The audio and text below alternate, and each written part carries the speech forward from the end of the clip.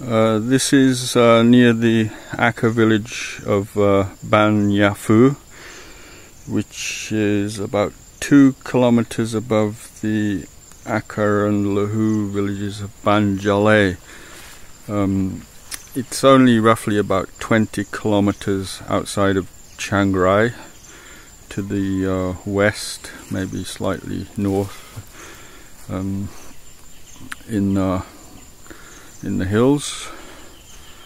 Um, there's lots of uh, natural forest here where the hill tribes have been living for uh, several decades. Uh, okay, this is um, very near to the village of uh, Banyafu, uh, village, and this is uh, some of their um, ceremonial um, structures which uh, they've obviously used for the um, their traditional ceremonies.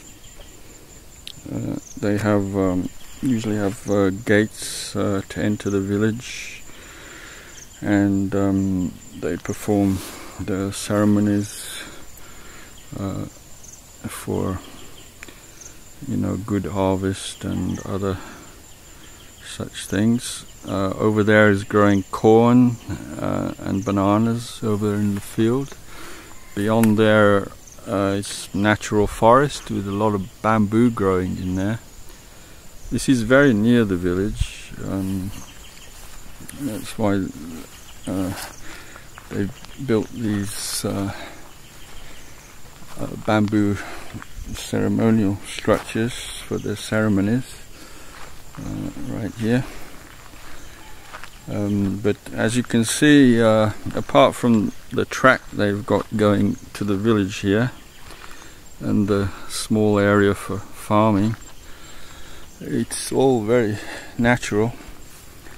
Um, yeah, there's uh, some burnt wood over there.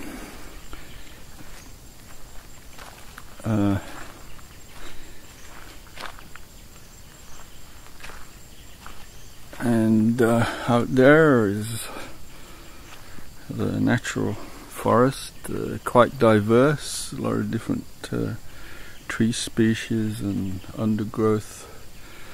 Um, yeah, now is rainy season, uh, rain coming down. Um, but really, the uh, hill tribe people, and especially the Akha, have been denigrated and in uh, some of the official government documents they criticize them for their slash and burn agricultural methods, uh, implying that that's destroying the environment.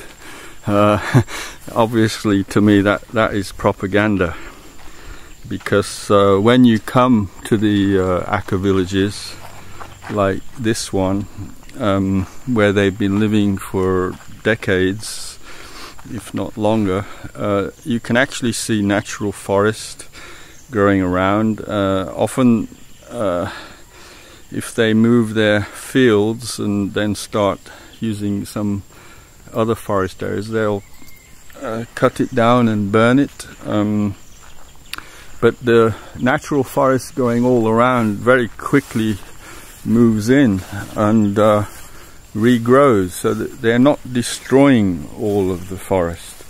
Okay, evidence here of uh, some burning which they've done to clear the area, but beyond there, natural forest uh, with diverse species. They will move in very quickly if the village moves. Um, so the hill tribes, although they are using uh, what could be called slash and burn methods to clear a little land like this to grow their food. Uh, they are not actually destroying the the environment. Um, uh, okay, a lot of people using bikes and pickup trucks to get to the village. Um, uh, okay, if the government moves in with their projects, uh, they cause um, a lot more destruction than what the hill tribe people do. Uh, if the government moves in, say, uh, with a national park or a forestry project. They'll often be uh, replanting it and um, clearing more land for their roads and causing a lot more destruction. Um, over in Laos, I know there are dam projects that move in and move the hill tribes. Uh, they cause a lot more destruction. Uh, the hill tribe people live close to nature like this and um, they respect it. Uh, they grow the food they need on the land and um, they don't destroy the nature around. Um, if they do move the village, a village is made from natural bamboo, um, mostly natural products, although these days they are using a lot of more like uh, uh, materials like concrete and um, metal uh, for fencing and other things. Uh, but traditionally they use bamboo and wood and that very quickly um, decomposes and the nature moves back in because the forests all around are natural and they will very quickly move back in. So the hill tribes are not destroying the environment.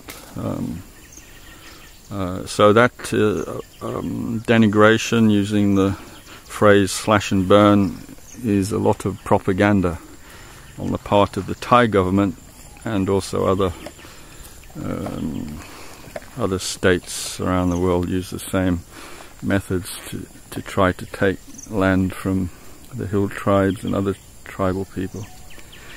So okay, this uh, it's um, a ceremonial site very near the village.